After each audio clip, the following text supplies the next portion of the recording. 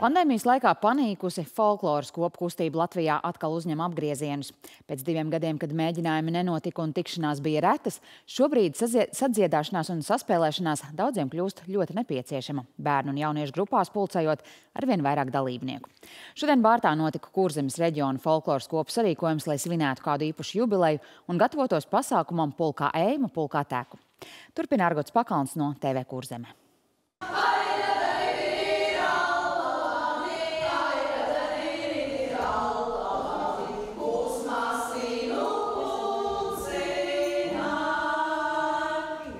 Ar skanīgu dziedāšanu savu 30 gadu jubilejas pasākumu šodien atklāja Dienvidkurzemes novada Bārtas bērnu un jauniešu folkloras kopa Bārtanieki.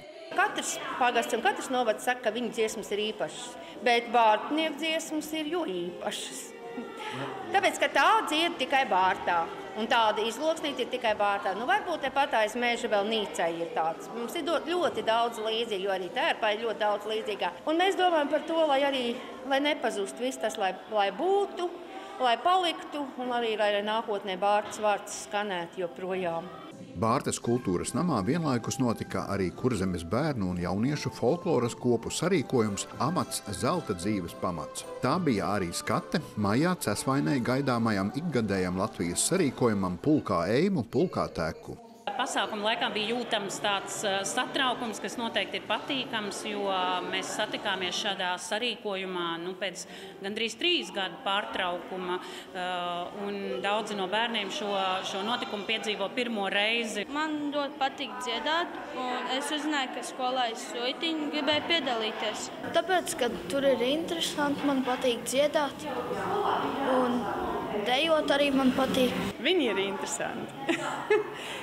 Nu, jā, viņiem ir dažādi raksturi. Līdz ar to ir jāatrod dažādas pieejas, kā ar viņiem pastrādāt, kā, kā sarunāt ar viņiem, kopā iemācīties kaut ko jaunu. Pandēmijas laiks ir ienācis ar korekcijām folkloras kopu kustībā, atzīst dalībnieki. Taču tagad varot runāt par renesansi. Izslāpuši pēc kopā būšanas arvien vairāk cilvēku izsaka vēlmi piedalīties.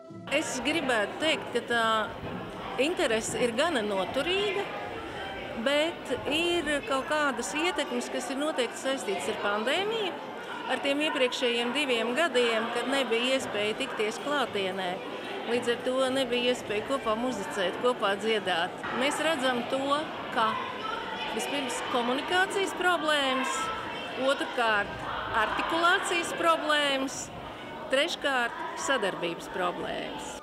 Pasākumu Bārtas kultūras namā kuplināja arī par godu šim notikumam izveidotais apvienotais Lejas kurzemes bērnu un jauniešu folkloras kopu orķestris.